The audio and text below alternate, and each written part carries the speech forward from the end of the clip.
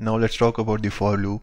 The for loop is also known as a for statement in PowerShell and this loop executes the statement in a code block when a specific condition evaluates to true.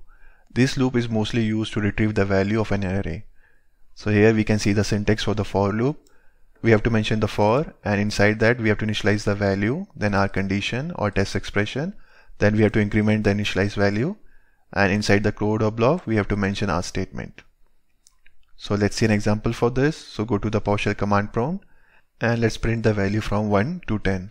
Declare a for loop here for and initialize the value let's say x is equal to 1 semicolon then our condition let's say x less than 11 then we have to increment the initialized value let's say x plus plus and to move to the next line inside the PowerShell command prompt press the key shift and enter and it will move to the next line. Now inside the code block, let's give a statement. Let's say whatever there is in X, print that and code block closed. And as soon as I will hit enter, it will print the values between 1 to 10. And here we can see the values 1 to 10 has been printed on the console.